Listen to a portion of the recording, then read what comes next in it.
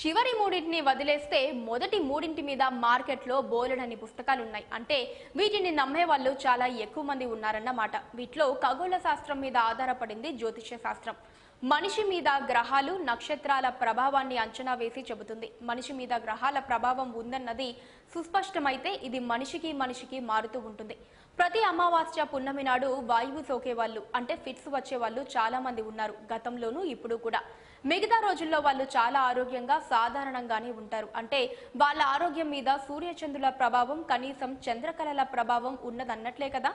ఇంకో ఆసక్తికరమైన విషయం ఏంటంటే రష్యా రాజధాని మాస్కోలోని ఒక ప్రాంతంలో భూమి ప్రతి పౌర్ణమి అమావాస్య రోజుల్లో ఉబ్బి కొన్ని గంటల తర్వాత మామూలుగా అయిపోతుందట. ఈ విషయం తెలుగుతో పాటు అనేక భాషల్లోకి అనువదించబడిన ఖగోళ శాస్త్రం విజ్ఞానం వినోదం అనే రష్యన్ పుస్తకంలో ఉంది. రాసింది జ్యోతిష్కులు కాదు రష్యన్ శాస్త్రవేత్తలు. గ్రహస్థితుల ప్రభావం గట్టి నేల మీదే అంత బలంగా కనబడుతున్నప్పుడు అతి సున్నితమైన సుతిమెత్తని మనిషి మెదడు మీద ఎందుకు పడకూడదు?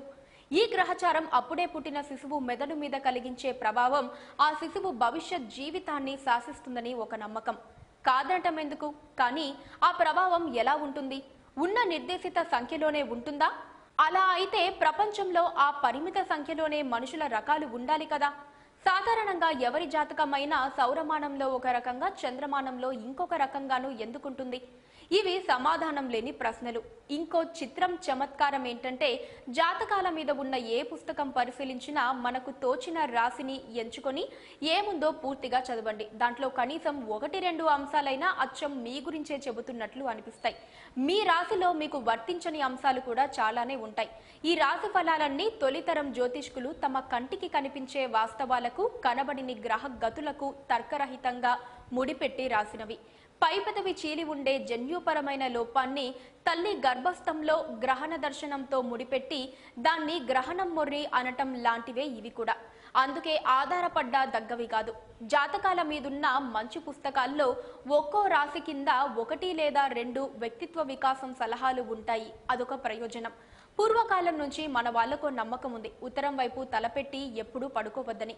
దాని వెనకుండే వినాయకుడి కథ ఎలా ఉన్నా ఆధునిక విజ్ఞాన శాస్త్రం ఆ నమ్మకాన్ని సమర్థిస్తుంది. భూమికి ఉత్తర ధ్రువం దక్షిణ ధ్రువం ఉన్నాయి కదా.